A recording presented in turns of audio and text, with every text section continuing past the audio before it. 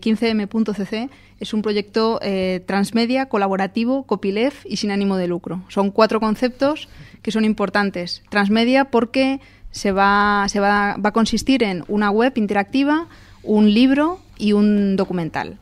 Eh, colaborativo porque intentamos que todas las obras estén, estén hechas por gente que nos quiere, que quiere colaborar con el, con el proyecto y con, y con, con la idea de lo que queremos contar, que es que es el 15M y no como una no solamente como una foto estática sino también en, proceso que sería lo que la parte digamos de la web Copyleft porque lo, vamos a publicar absolutamente todo con una licencia abierta de Creative Commons que es eh, atribución compartir igual.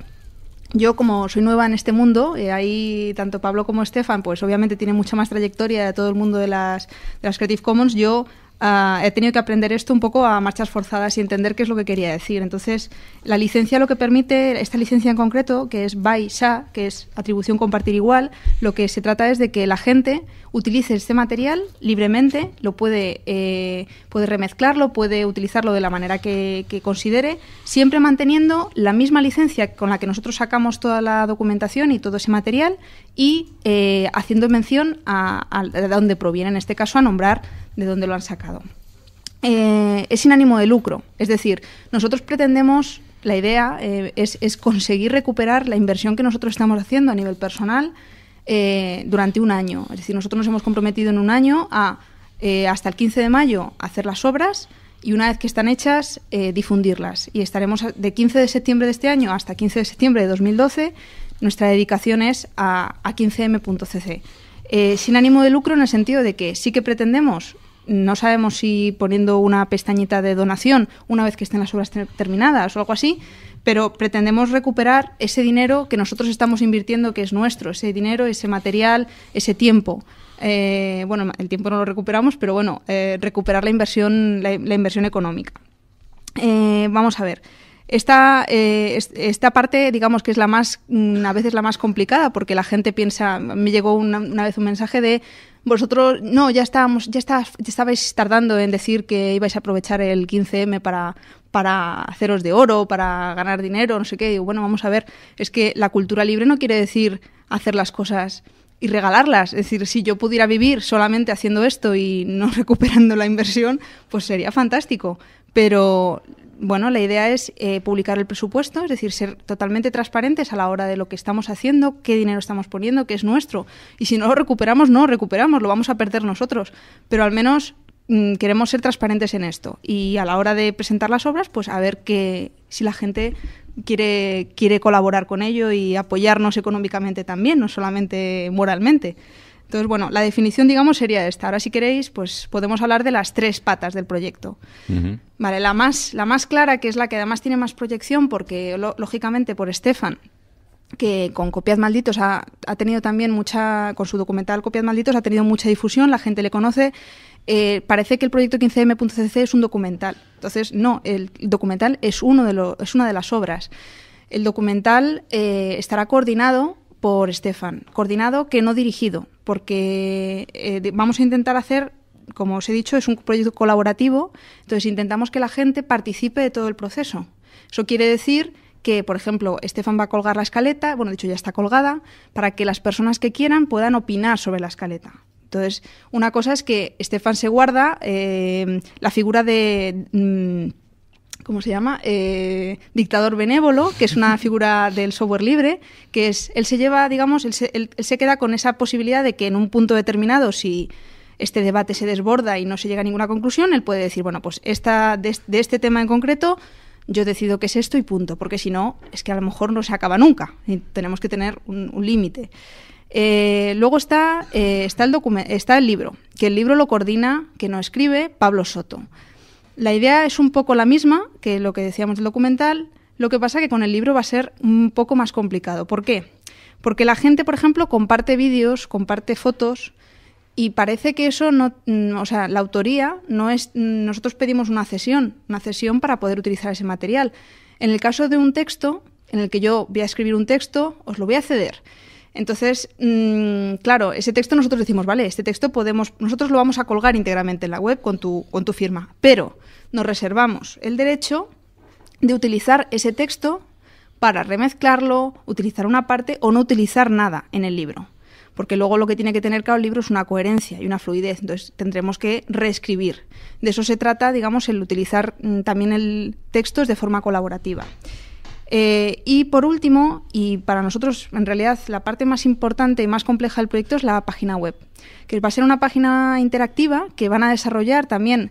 Eh, por un lado, estamos en colaboración con, eh, con la Asociación Cultural Alabs, que son, son programadores, entonces ellos van, van a gestionar la colaboración de gente, de programadores, para el diseño y programación de la página web, también en software libre y con la idea de que además el código esté, esté liberado, es decir, que cuando se termine la página cualquier persona va a poder replicar lo que nosotros hagamos allí.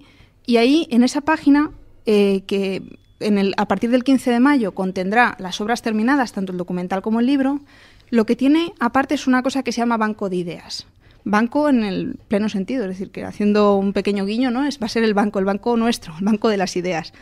Entonces, ese banco lo que va a permitir es que tú puedas navegar por tu propio 15M. Es decir, se va a hacer una especie de árbol de, árbol de conceptos en el que tú vas a poder, eh, a través de, por ejemplo, el concepto no violencia, pues vas a poder ver fotos de no violencia, o vídeos, o textos refiriéndose a la no violencia. A lo mejor la no violencia se enlaza con alguna, pues con la transición española, y con, por ejemplo, con, yo qué sé, con la guerra de Irak. Y a lo mejor ahí, pues en ese concepto hay otros, hay otras imágenes, otros vídeos. Entonces la idea es que tú puedas navegar a través de tu propio 15M y puedas también producir, es decir, crear eh, nuevos conceptos, añadir eh, a los conceptos que hay fotos tuyas, textos tuyos, eh, de forma que esto no tenga por qué tener un fin, es decir, que puede ser una nube que puede seguir creciendo y que puede seguir desarrollándose. Entonces, bueno, ahí estamos. Esto es de, alguna manera lo que hemos puesto ya en, limpio. El, miércoles estuvimos reunidos con gente que vino para, hacer grupos de trabajo y ya bueno ya se están empezando a formar este fin de semana porque no hemos tenido tiempo material de gestionar tantas cosas eh, este fin de semana se van a van a cerrarse ya al menos los primeros cuatro o cinco grupos publicaremos esta información y toda persona que quiera a incluirse en uno de estos grupos, en varios, en todos, pues eh, totalmente bienvenido. se va a intentar que sean autogestionados, es decir, que aunque nosotros estemos detrás, lógicamente, para como, como vínculo con el proyecto, porque evidentemente no se trata de que cada cosa ande sola. Eh, por ejemplo, va a haber, un, pues va a haber un, grupo de música que lo que van a intentar es captar sonidos del 15M, eh, músicas que están relacionadas con el 15M.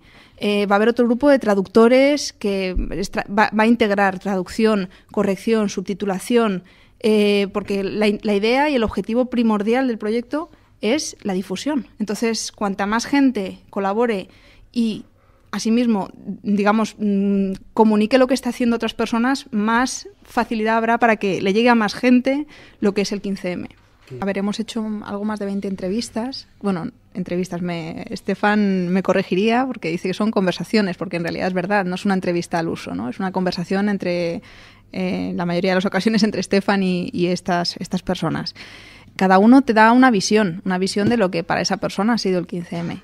Y bueno, es, es interesante, sobre todo, a ver, lo que nos parece importante de las conversaciones es que nos permiten reflexionar, porque muchas veces lo que pasa con todo esto es que pretendes que te den una información clara, concisa y ya, y que yo quiero saber esto ya y en, bien resumidito y bien concreto.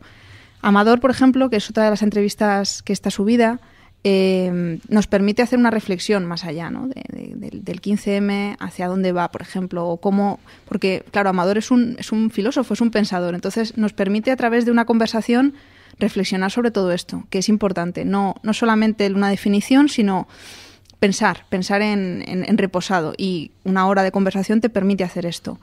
Es lo, es lo que estamos haciendo con este material, es decir, intentando que la gente no solamente se quede con el producto final, que será un documental, que realmente, como dice Estefan, no tenemos capacidad para saber cuál será el, producto final, en este caso, porque si fuera otro documental más de Estefan, él podría mm, de alguna manera firmar ya, decir, bueno, yo sé más o menos cómo va a salir porque va a depender exclusivamente de mí, pero va a ser un proceso que es experimental, por lo tanto no, no podemos saber qué va a pasar con el producto final. Ahora, sí que es verdad que todos los brutos que nosotros vayamos publicando, que solamente van a ser conversaciones, al menos es un es una permite a quien quiera reflexionar sobre el 15M y bueno, y darle digamos más mm, o sea, no, quedar, no quedarte con, el, con, con, los cortes, sino poder ahondar en lo que dicen estas personas. Para mí es un despertar colectivo, es decir, para mí es el darnos cuenta de que no estamos, no estamos solos en, en el sentimiento a lo mejor de, pues de pérdida, ¿no? Es de, de, estamos perdidos, pero estamos solos. Pero, pero no, mm, yo no lo veo como algo que tenga que o sea, hay gente que quiere poner una etiqueta y cerrarlo ahí, ¿no? Es como el 15M viene de aquí a aquí y esto es lo que, lo que da. Para mí es ser 15 mayista, ¿no? no es pertenecer al 15M ni siquiera, no es una pertenencia porque no hay una membresía, no hay un, una organización. Para mí es como yo soy, no sé, soy omnívora porque como de todo y también soy quincemayista. Entonces, para mí es como un adjetivo más que, doy a mi persona, pero no porque comparto una serie de criterios y de principios, no, no porque necesite estar de acuerdo con todo lo que hagan todas las personas que actúan en las asambleas o no, sencillamente porque comparto una serie de, de valores y de criterios. Yo a Estefan le conocí el mismo 15 de mayo. Después de la manifestación eh, entré en, un, en, una cafetería y, y, de repente le vi. Yo le conocí, vamos, hacía pocas semanas creo que había visto su documental, Copias Malditos, y me acuerdo que además le había mandado un mensaje de, dándole enhorabuena por el Facebook y no me había respondido. Entonces, pero nada, le vi, me acerqué y le dije, bueno, yo te conozco, tal, no sé qué, te sigo. Y el chico me dijo, ah, pues muy bien. claro, entonces, pues nada, ahí quedó, digamos, yo me presenté oficialmente y ahí quedó el tema. Entonces, claro, ¿qué pasa? Que luego es verdad que Estefan y yo, sobre todo, más que con Pablo, inicialmente yo, eh, me he encontrado muchísimas veces en la Puerta del Sol. Es decir, allí, allí nos encontrábamos, nos cruzábamos, yo iba con, con mi teléfono, con el suyo, y a veces pues nos cruzábamos y nos saludábamos. Y no sé, poco a poco yo a Pablo le conocí, o sea, le conocí antes en una, en, un, en una, pues en una conferencia o algo así, le vi, le, seguía por Twitter ya, pero no, realmente no, no me presenté ni nada, ni, ni, nos, ni nos presentó nadie. Entonces, al cabo del tiempo, a Pablo me lo presentó en realidad Javier de la Cueva, y en una conferencia, meses de, bueno, no sé si un mes o un mes y pico después del, del 15 de mayo. Y, bueno, yo les conocía y la verdad que con, mucha gente nueva con la que he contactado en, a partir de, del 15 de mayo, pues como que te, te, vas encontrando y te vas siguiendo y te vas contando. Y un día, pues nada, me llamaron por teléfono y me dijeron que querían hablar conmigo. Y es que Pablo le llevaba dando la paliza a Estefan desde el 15 de mayo mismo de que tenía que hacer un documental eh, y entonces Estefan también le dijo a Pablo que bueno, que él hacía un documental pero que entonces él hacía un libro. Y bueno, entonces empezaron a darse la paliza mutuamente y dijeron, bueno, pues nos comprometemos y buscamos a alguien que nos ayude a coordinar el proyecto. Y bueno, me llamaron a mí. Eso es lo que me han dicho. No sé si seré segundo plato, tercero, pero han dicho que no.